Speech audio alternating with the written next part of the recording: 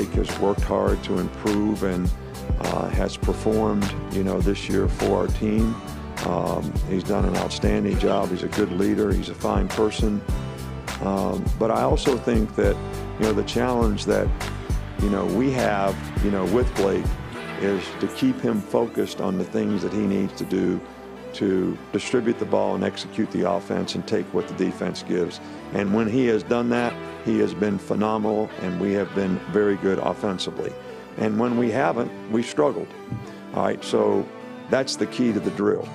If he wants to continue to play at the high level that he has for most of the season, then that's got to be the point of emphasis that we have to continue to build on with him so that he, he stays in that mode, you know.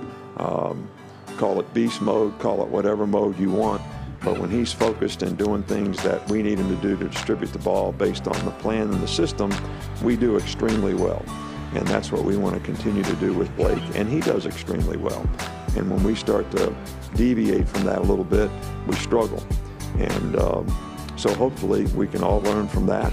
And he can continue to be very productive and we can be productive on offense.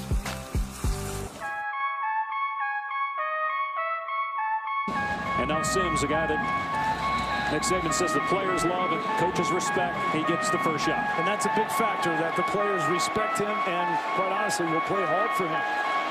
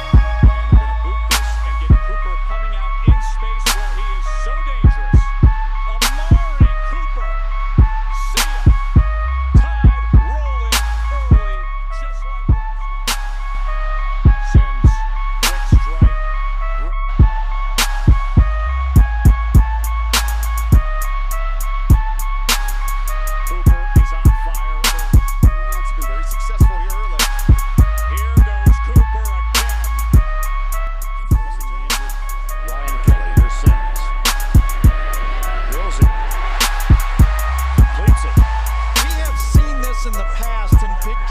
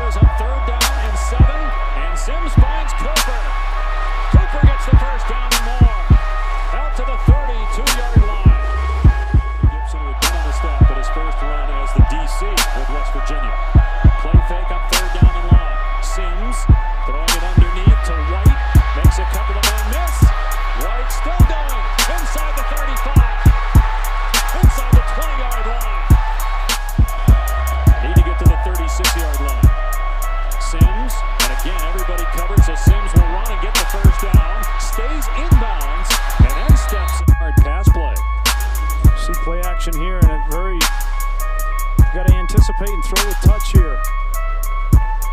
What happens to Andrew White here? He comes down hard. You hope that he just gets the wind knocked out of him.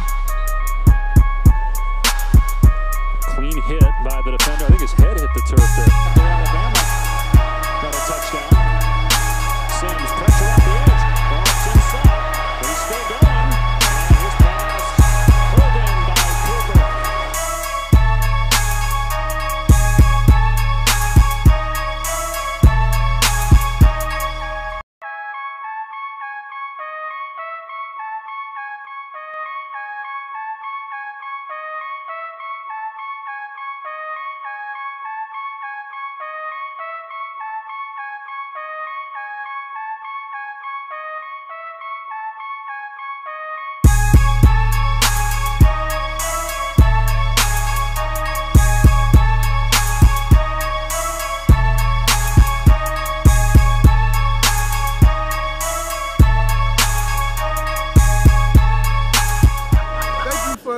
For thank you for tuning in and uh oh I still have more time.